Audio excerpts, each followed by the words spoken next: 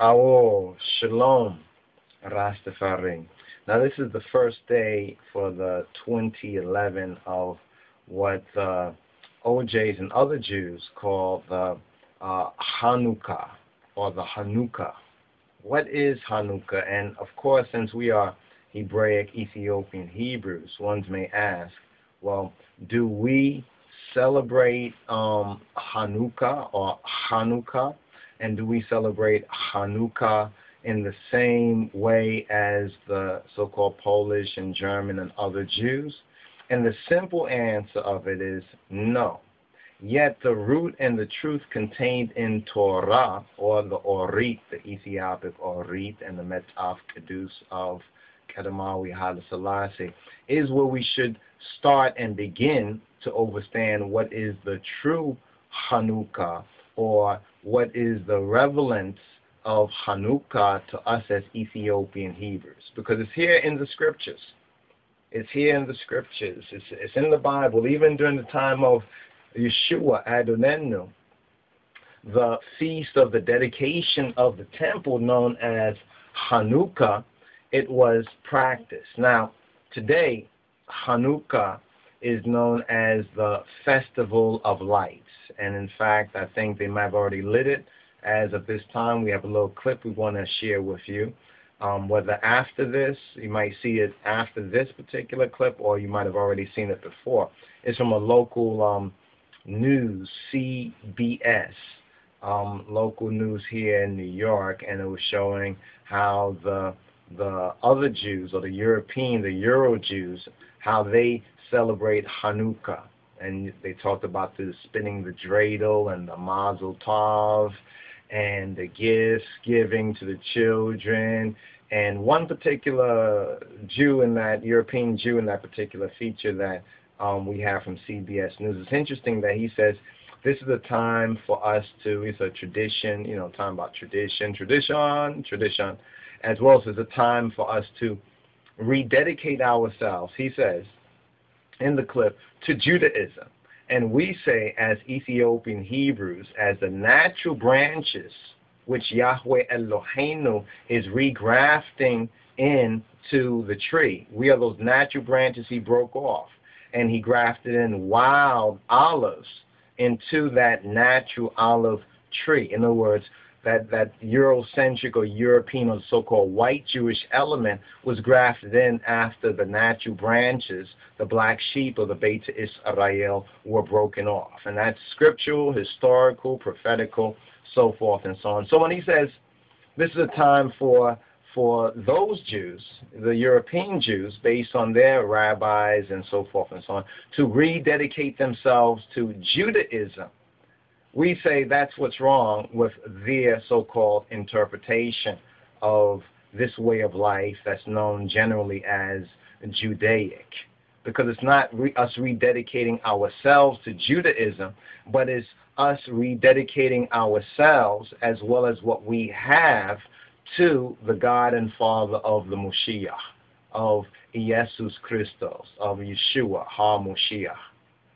Understand that. Now, the being festival of light is an interesting element with the candelabrum, so forth and so on, and some questions about why the five, um, the, why the five uh, candlesticks, so-called menorah, um, or the seven, the seven, and why the nine, the difference between seven and the nine, so forth and so on. Now, the basic history, in other words, the basic, the basic story, the basic narrative of Hanukkah is where the items should check out if you're interested. And you can go to Wikipedia, so forth and so on, and get the basic idea. And then they will have the different European, the Eurocentric tradition, and the European interpretation. But the half of the story that hasn't been told is revealed in Aras Teferi, and through the revelation of Aras Teferi the King of Kings Kedemawi Haile Selassie, and his Christ, our black Lord and Savior,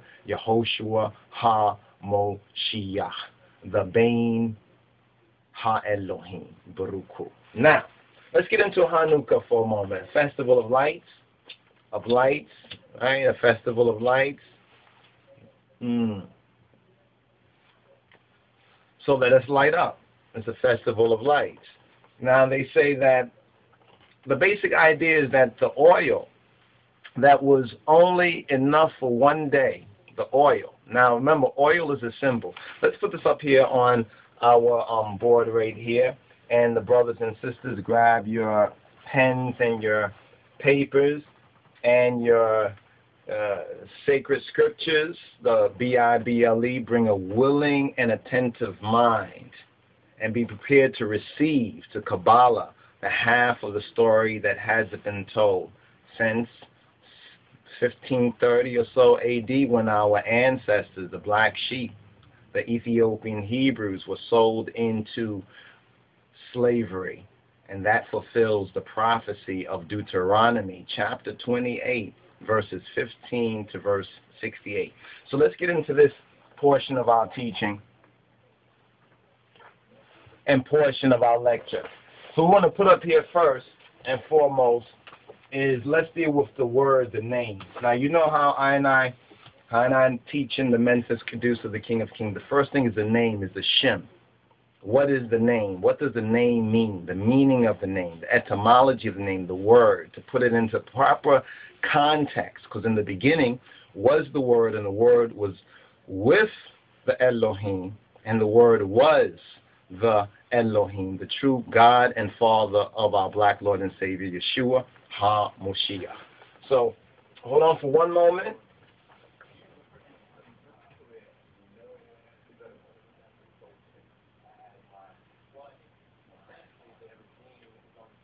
All right, so what we're going to do is we're going to write up here Hanukkah. Hanukkah. Now, some spell it with the CH.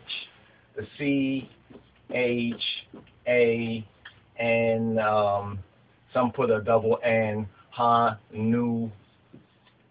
Nu Ha Nu Ka. Now, some you know different spellings. There's some different spellings among different communities, and even among the European, the Polish, and the Germanic Jews, they dispute on it. There's the Ashkenazi way, which is the European, the Polish, um, and the German Jews, um, who through white supremacy